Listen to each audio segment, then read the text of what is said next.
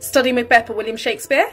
Let's do some word level analysis on the relationship between Macbeth and Banquo. In Act 1, Scene 3, after they receive the witch's prophecy, Macbeth says, Your children shall be king, and the pronoun your shows his growing jealousy of Banquo. Yet Banquo responds with the declarative sentence, You shall be king, echoing Macbeth's words. However, we can see that he is not jealous at all of his friend. Macbeth's growing jealousy is shown even more when he asks the rhetorical question, Do you not hope your children shall be kings?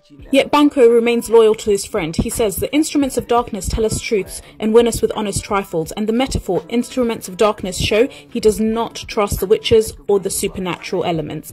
The alliteration in tell and truths show Banquo does not trust the supernatural, he does not trust the intentions of the witches. He's simply saying that the witches will tell you a small truth so that they can win your trust, but once they win your trust, they will then betray you.